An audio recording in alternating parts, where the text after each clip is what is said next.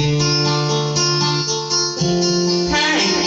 my name is Nokanda Palati Choi. Today, I'm going to sing holiday song, the original version by Scorpion.